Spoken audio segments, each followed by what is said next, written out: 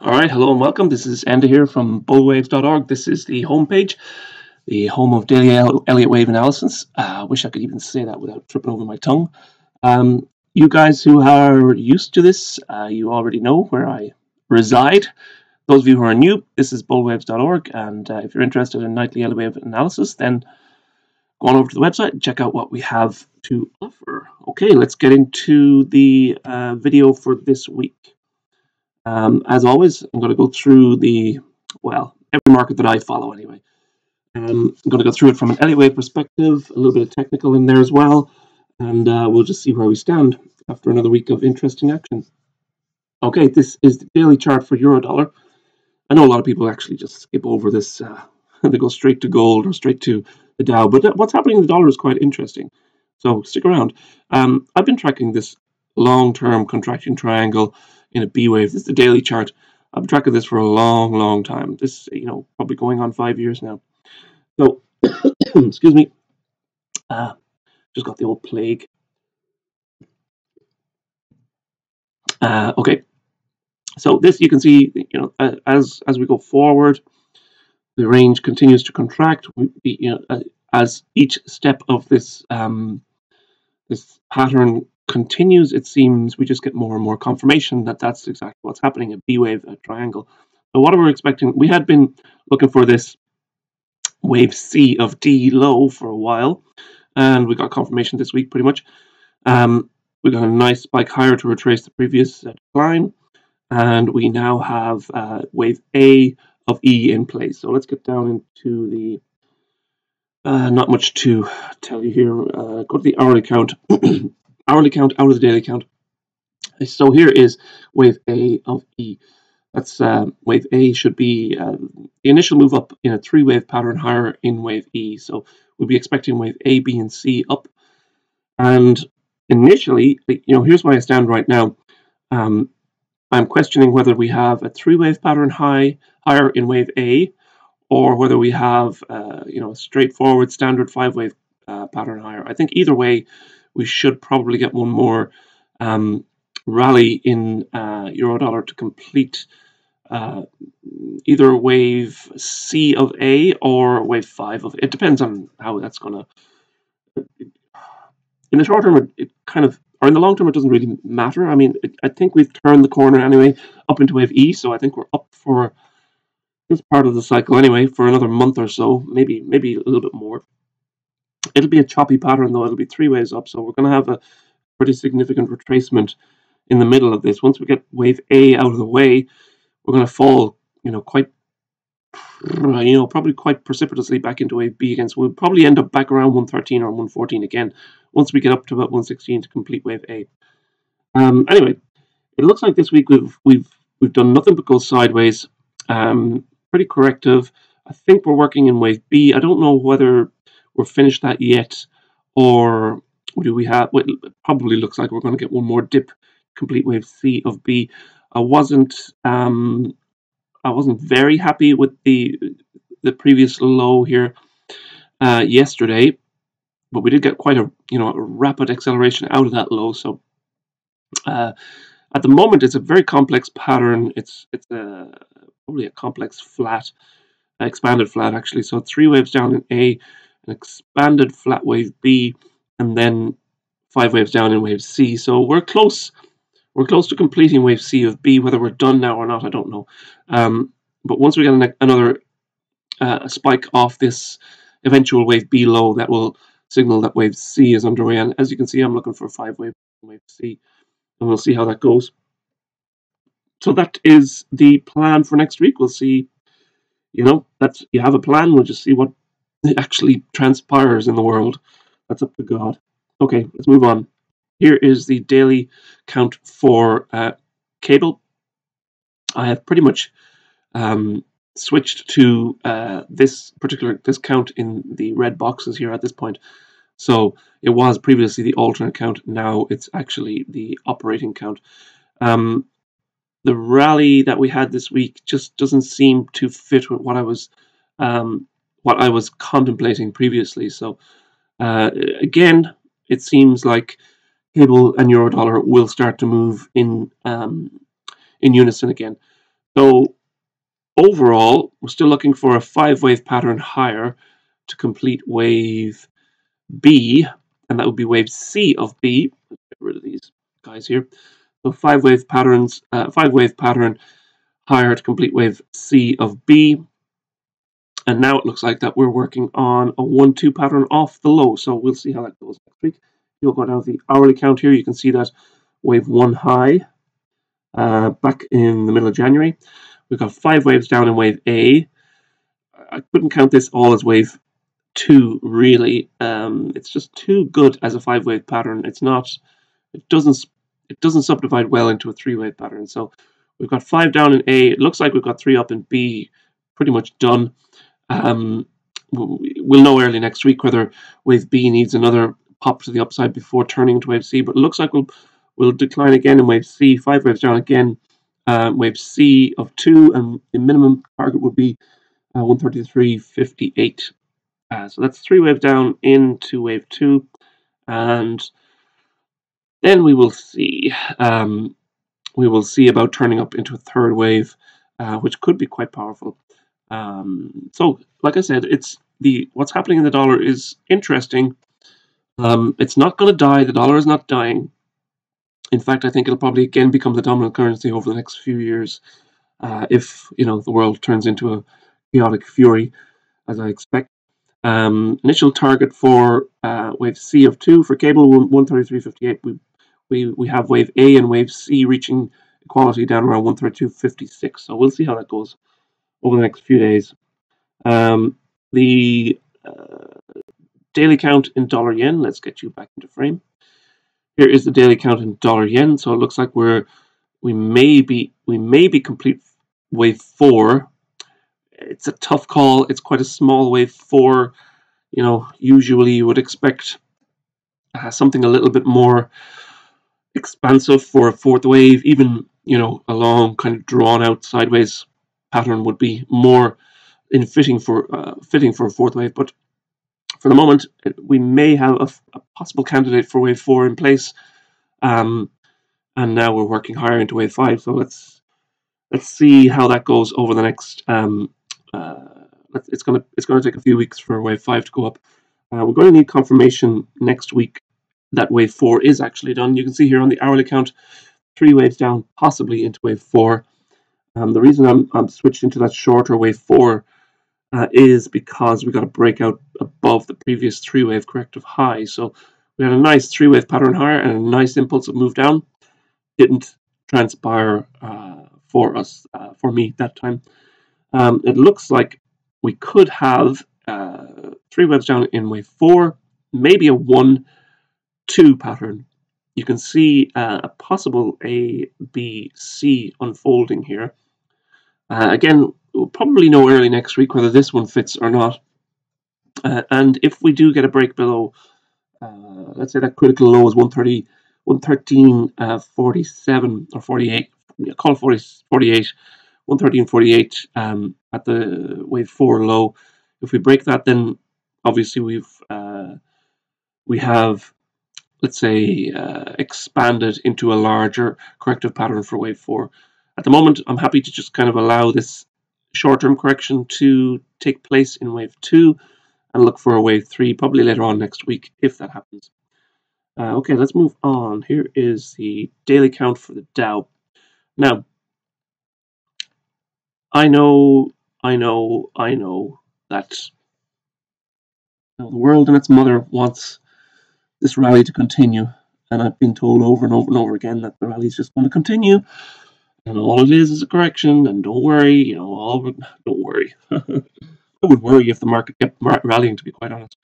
Um, we have hit an interesting uh, point over the last month or so. It's where uh, the decline in, in 2020, March 2020, um, if you take 100% of that decline and extend it off the low, and then you come up with a price target of uh, 36, 600 and we just pipped above that, and then we crashed.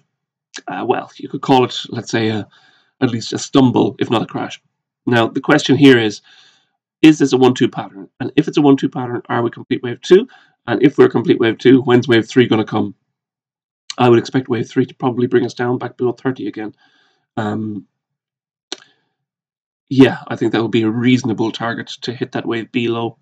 Uh, okay, so once we do confirm that we have wave two done, then we'd be looking for wave three to start. So the base case scenario is that wave two is done, and we got a spike down yesterday to suggest that we've uh, something impulsive maybe building to the downside again. So we had a pretty nice, um, not quite so uh, dramatic, uh, let's say, retracement of the previous extents of the fourth wave there, but we did uh, come down quite reasonably, and now we're bouncing today. So you would expect, obviously, some sort of bounce today. Um, it being Friday and all. Uh, so if this is a 1-2 pattern, this should be a beginning of a larger 1-2 to begin wave 3. Uh, so uh, at this moment in time, I'm taking the most bearish, you could probably say the most bearish outlook one could possibly take, uh, saying that we are now beginning a third wave down. So what do we need to happen from here? Well, we need to see this um, wave 2 high. We need to see that, that level hold. So that came in at, uh, let's say, 35,860. Um, interestingly enough, if we if we take the wave A high, or the extent of wave A, this is an ABC pattern up in wave 2. If we take the extent of wave A and we project it off the wave B low, that gives us a target for wave C at the 162% extension of 35,860. Or sorry, 35, uh, what did it actually come in at? It came in at 35,880 and we topped out at 35,860. So uh, not so bad. You know, that's uh, at least an indication. We did, you know, impulsively move lower off that again. So the question is, is this the beginning of wave three down? We'll know next week. If we continue lower, um, obviously we blast higher again, then I'm completely wrong. But uh, if we continue lower, trace out five waves, build a nice um, lower high here in wave two, then we would expect wave three of three to come our way um, over the let's say the following two weeks. Let's say. Okay, let's move on off of uh, the stock market at the moment. I'll get back to the S&P later. Here is um, two counts. In, this is the alternate count for way for gold, um, and the it is it's a similar it's a wave 4 correction no matter how you look at it the question is is it a wave 4 complex correction or is it just a simple is it just a simple straightforward uh, triangle wave 4 uh, which should be completing pretty soon and then we would head higher into wave 5 now this is a simple triangle wave 4 then we will see um, the the low of wave E of 4 coming pretty soon, three waves down into wave E, and then we would rally again to break out above that, let's say that um, shackles of the 1850 level, uh, which has held the price for months and months now. Um, we should break out of that pretty easily in wave 1 of 5, and probably, maybe even to a new all-time high, um, above 2077 there. Uh, that's for that's not for today. If we get down into the hourly count, I'll show you what I'm thinking about here for wave E. You got wave A down. Uh, we did get a, a wave D high. We got a nice sharp move down. I'm looking at that as wave A of E. So we're looking for an ABC pattern down in wave E. That's wave A down, done. Looks pretty corrective off that. Don't know if we're we're done for the wave B high. Uh, it was quite a, let's say, deep retracement in wave B. But I still think that's best way to count it is um, corrective to the upside. So if we're done here, uh, then we should see a return lower, let's say, even in towards the end of uh, today's session, uh, by you know my time, you know by three or four o'clock Eastern U.S. time, or eight or nine o'clock, seven or eight o'clock um, my time, uh, so GMT. Uh, so, do we get a reversal? Do we fall down into a third of wave C before the end of this session? That's uh, kind of what I'll be looking for over the next couple hours. We'll see whether that happens or not. Um, it would be nice. It'd be nice to complete this wave E in a nice, you know, timely fashion rather than the previous, you know, long drawn out, road to nowhere kind of uh, patterns that we've been experiencing in gold. Um, the critical pattern, the critical high in gold is at 1853 high. If we break that wave D high, then it would suggest that uh, the next leg up is underway. So let's see how that goes next week. Let's move on. This is crude oil. Here is the daily count in crude oil. I Was looking for a fifth wave to top. Um, whether we've got that or not now is up to, well, it's still up for debate. Um, this would be a five wave pattern higher in wave C of B. And then once wave B completes, then we, we should see five waves down in wave C. So this is a long, long, large, drawn out uh, pattern that I'm following here. Uh, okay, so let's get in eh, and see what's happened this week in the hourly count. Uh, possible impulsive decline. I'm not absolutely sold on it yet. Um, we're still kind of playing without playing around in the in the, let's say, the price territory of a second wave. So this is yet to be decided. We're very close, very close to breaking to a new, let's say, high, uh, a, a, new high for a lower high in wave two. So I'm not quite sure whether wave two is done yet. Um, it's been, let's say, tantalizing um, the action over the last couple of sessions because we got so many, you know, sharp spikes to the downside. Uh, and again, today we've got a nice uh, pretty sharp impulsive retracement of those um, downside moves. So we're ranging this week. It should be a correction. Um, we it's yet to be seen whether uh, we get any sort of confirmation we are done um, in wave five of C. You can see there, uh, wave five of C. If we are done in wave five of C, then we should see more downside next week. So let's see how that goes. Now let's move on. Uh, what do I do? With the S&P next. Here we are. This is the S&P daily count. Uh, again, a five of five of three um, in place. Uh, on the four-hour count, you can see tracking that kind of one-two scenario uh, off the high. So five waves down, wave one, A, B, C pattern up, wave two. Excuse me, I'm going to make everyone yawn. A little bit, we did pop just above the 62% retracement and we have kind of, uh, let's say, uh, created a double top there at this point. Um, reasonably impulsive moves lower as well. So uh, the question is, are we done here? Uh, that's the question I'm, I'm having for the stock market this over the last week or so. Uh, so we did not didn't quite make to a new high in this weekly high. Um,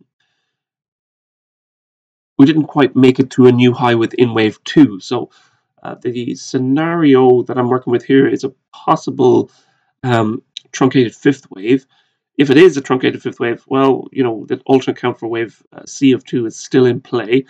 Um, truncated fifth wave does allow us to kind of count this um, real mishmash here uh, that happened earlier on, uh, late last week actually, as a corrective form. So I don't have to go, you know, butchering that into any sort of impulsive move lower. We'll see how that uh, transpires next week. But uh, interestingly enough, we do have another spike lower. We didn't get a break out of this corrective pattern just yet. We didn't get a break back into the wave A high. So I have I have a kind of a band of support marked here uh, between 44.46 and 44.19. So we break 44.20 again. That should indicate that wave three of one is underway. So looking for five waves down again. Always looking for five waves. This guy. well, you know, that's what you're saying in the back of your head anyway. Okay, always looking for five waves down. So let's see if we do get that next week. And that's, let's say, my base case scenario here. We'll see how um, actually transpires. Uh, here's silver. This is the daily count in silver. Uh, you can see I'm tracking a very um, oh how would you say an ominous uh, turn in the market this week or over the last week or so. Um, we could have wave A down done, expanded flat wave B done, and we could be moving down into a third wave of wave C. Um, this trend channel is suggesting somewhere down around 180 or 18 to complete this wave C if we do get that, oh, well, uh, we may even go even further. I'm not 100% sure on that. we may go further in wave C of two. I mean, we could fall, could back, we could fall back to 15 again. Um, if if wave C really does take uh, take hold of this action, you know, we get kind of like a, a capitulation um, in the longs, and we just, you know, people start piling in short again. I don't think we'll see a, a test of the lows again.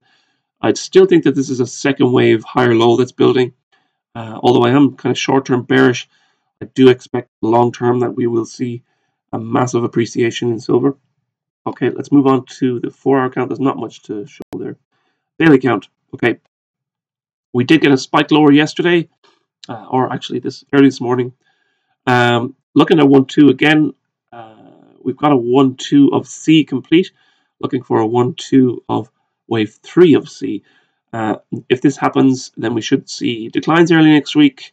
We don't have to see break to a new low in wave one, but we do need to see a lower high build in wave two, and then uh, we would look for an acceleration lower uh, into wave three of C, and that's the outlook for next week. Let's see if we build another lower high in silver.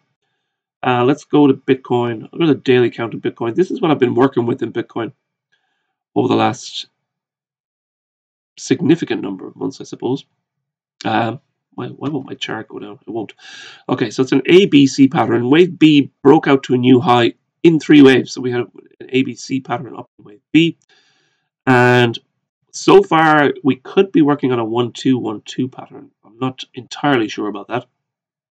If it is the case, then we are already running down in wave C, or sorry, wave 3 of C. So, uh, in, wait, that of does, that sounds a little bit scary for um, Bitcoin uh, because this pattern does suggest somewhere down around, you know, 11, maybe 10, 10,000 again in wave C. And this could, like, this could completely break the market. It could even be outlawed after this. So watch out and don't say, don't tell me that they don't want to do it because you know well that they do. Uh, okay, so and they're just looking for the opportunity. I mean, people will be uh, crying for it to be outlawed at that point. Um, so here's the one-two scenario, one-two, one-two scenario down into wave three of C. So we'll see. Looking actually for next week, we're looking for a third of a third pattern. In the hourly count, you can see this is the uh, correction higher in wave two that I'm working with. A, B, C up in wave two. Uh, again, another kind of punch to the downside yesterday. I'm Not sure if this is wave one of to begin a third wave down. So um, that will be, let's say, where I'll be focused next week. If we get five waves down again, uh, especially if we start breaking below um, this corrective higher low here in 36, 36 200, we break below 36 200 again. That's wave B wiped out um, or retraced, and then that would be a pretty good indicator that wave three is underway. Okay, let's move on. I'm going to go to the NASDAQ the NASDAQ here. There's the hourly count. I'll go for the four hour count in NASDAQ. Uh, as you can see, a you could you could view this two ways. We did come down to the previous fourth wave, and so far, so far I think we've got three waves down complete. Now, the bulls among us would say that this is obviously just a retracement. It's just a correction back into the previous fourth wave, and the bounce off that has you know, indicated that we are ready to rally again. Okay, I'll give you that. We could have a one or an ABC pattern down. But this could also be a fourth wave working down into a fifth wave. So we go down into the hourly count here, you can see that I've got the three waves up in wave four. We've got a one-two pattern in wave five. So I am looking for further downside next week to complete five waves down in the NASDAQ, five waves down in wave one. Um, uh, is that it? Yes, that's it. Okay. So, uh, like I said earlier, get over to the website and check out um, bullwaves.org and uh, we should, you should be able to uh, take a look at uh, prices. Uh, I, I, do have a little bit of a problem with, with the website now, but I'm working on it. okay, so check out the website if you're interested in nightly Elliott wave analysis um, or drop me a line. You know, we'll uh, we'll chat.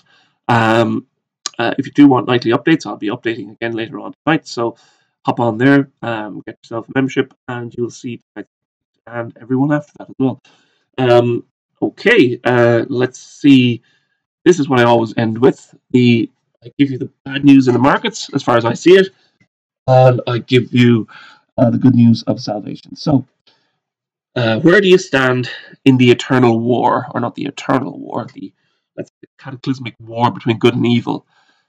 So that's what this is all about. You know, where do you stand? Where does your allegiance stand? And that's really what God will judge you on when He sees you, when you die, and you come face to face with your Creator, and He's going to recognize you as one of His troops, or He's going to recognize you as one of the enemy. And as Jesus said, if you're not for me, you're against me. So the question is, you know, have you received that free gift of salvation to become part of that army, that end time army? Uh, that's the way I view it anyway. This is a spiritual war and fast turning into a kinetic war, and I think it will be a kinetic war uh, pretty soon. There's at least three, if not four, wars that are brewing and just waiting to uh, waiting for the first trigger pull, and I think that's coming pretty soon.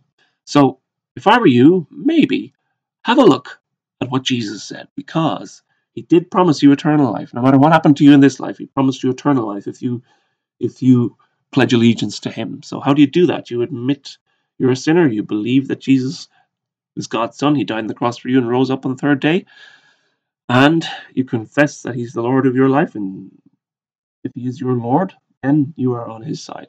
A okay? That's the gospel. It's good news. It's, that's it. It's not religion. It's not anything else. Anyone can do this. Anyone can look into it. There's very few places on planet Earth where this is um, that you're going to get in trouble for doing this. So uh, I would simply ask you to at least consider it because I know one thing. You know, I may not, not, not I may not know the future entirely, but I do know one thing is certain in your life, and that means that is going to die. So, you know, I'm sorry to break the bad news to you. Maybe you should get on the right side before you do. Okay, that's God's blessings to you all. I'll see you on the website later if you come and join, and if not, I'll see you next week in YouTube land. Bye bye.